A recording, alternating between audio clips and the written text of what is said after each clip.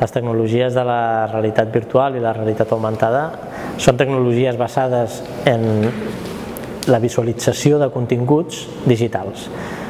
La realitat virtual, els continguts són completament digitals, són immersius i necessitem unes ulleres per visualitzar-los i la realitat augmentada combina el que està visualitzant una càmera digital, que pot ser d'un dispositiu mòbil, amb continguts digitals sobreimposats.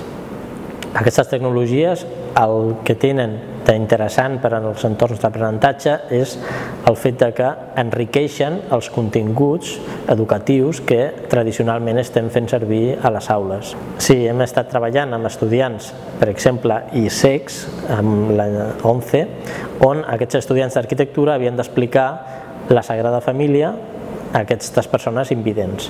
Per tant, la tecnologia el que permetia era un reconeixement d'imatge dels elements de l'arquitectura que ensenyaven explicant als invidents de forma d'àudio aquests continguts que d'una altra manera seria impossible. Les diferències fonamentals d'aquestes tecnologies que estan basades en tecnologies mòbils és que el, el procés o la metodologia educativa es fa de forma eh, participativa. Els alumnes generen els continguts, aquests continguts no necessàriament estan a l'aula, sinó que estan en tots els recursos que poden obtenir d'internet, per tant, podríem dir que estem parlant d'algú més semblant al connectivisme, que és aquesta forma de connectar la informació a través de les xarxes, per tant els alumnes s'han de desenvolupar en, aquestes, en aquesta forma de trobar la informació.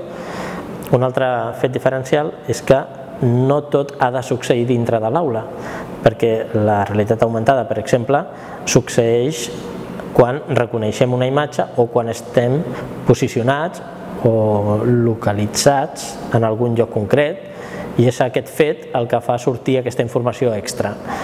Per tant, les formes d'aprenentatge eh, es produeixen d'una forma ubicua, no, no localitzada necessàriament en un lloc concret, la informació diguem que està en el núvol i tot això fa una dinàmica molt, molt interessant de cara als professors. Aquest prejudici de que la tecnologia acaba sent el fi és una tasca que cal treballar amb els professors.